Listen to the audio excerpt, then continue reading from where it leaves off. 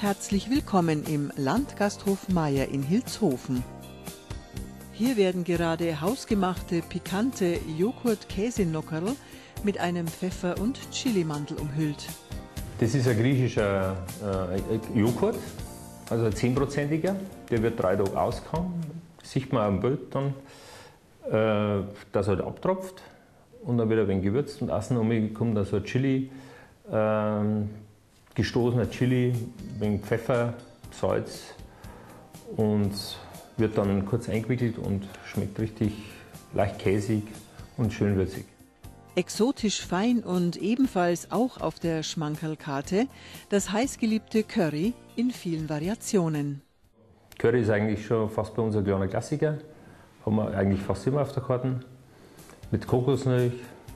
Das kann man jetzt, das in dem Fall ist äh, mit Schellfisch und Garnelen. Das kann man mit Rinderfilet, mit Lamm machen, mit allen eigentlich. Und ähm, ja, durch das Kokosmilch, durch die vielen Kräuter, Zitronengras, Koriander, ganz ein schönes, leichtes Gericht. Ein Klassiker der mediterranen Küche. Hausgemachte Ravioli mit einer Käse-Kürbisfüllung und Salbeibutter. Auch die sind auf der vielseitigen Karte zu finden. Ja, genau, das ist ein Ziegenweichkäse oder Ziegenfrischkäse. Die Kürbis haben wir selber im Garten.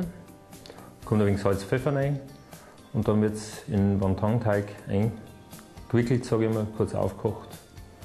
Sehr schönes, frisches Gericht.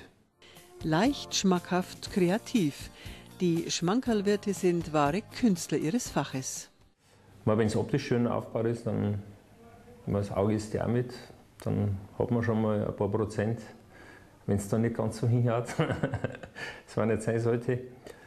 Ja, wir versuchen, dass das passt. Aber auch die Oberpfälzer Küche spiegelt sich hier wieder, zum Beispiel beim saftigen Apfelkuchen mit geeistem Nougat-Espresso. Der Schlupfkuchen, ja, das ist ein Eisperrteig, also Eier, Mehl, Butter, gleiche Menge, ganz ein einfacher Teig eigentlich. Und die Äpfel aus dem Garten.